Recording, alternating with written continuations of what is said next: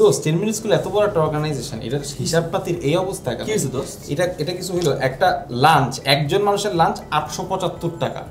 কে আটশো পঁচাত্তর টাকা লাঞ্চ খাইছে দোস্ত। ও সব কি খাইছে? এখানটাতে সেট মেনুর দাম দুইশো বিশ টাকা। 875 দুই প্যাকেট অর্ডার করে দোস্ত সব সময়। তাও তো তোর দুইশো চিজ কেক অর্ডার করে দোস্ত। প্লিজ দোস্ত এটা অ্যাকসেপ্টেবল না? তো এটা গুনে রাখছিস।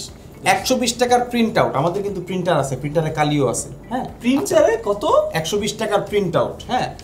রিসিট ঠিক আছে? রিসিট একটা একটা টিস্যু পেপারের রিসিট আছে। পৃথিবীর কোন দোকান টিস্যু পেপারের রিসিট টিস্যু পেপারের রিসিট রাখা হইতেছে। আর বাদ বাকি রিসিটের হচ্ছে এই অবস্থা। তো এটা হচ্ছে রিসিট এখানটাতে হাজার হাজার টাকা খরচ হয়ে যাচ্ছে এই অবস্থা। আমাদের হিসাব পাতি এটা দিস ইজ নাথিং এগুলি তুলিস না প্লিজ প্লিজ তুলিস না এটা হবে। দেখি কি তোর তোর যে অ্যাকাউন্টে যে আছে তাকে বাদ দে।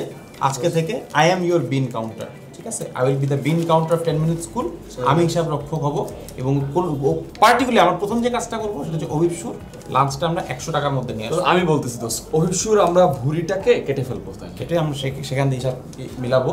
আর তো যাদের যাদের কোম্পানি এভাবে করে চলতে পারে না অভিপসুদের মতো মানুষের কারণে তাদের কোম্পানি থেকে অবশ্যই আগে ওষুধকে বাদ দিতে হবে আমার মতো একজন সুযোগ্য বিন কাউন্টার নিয়োগ করতে হবে যারা এই যে টিস্যু পেপার দ্বারা রিসিপ্ট মেনে নিবে। তা আসলে ভালো হিসাব রাখিস রে. এই কোত্থেকে খুঁজে বের করছিস?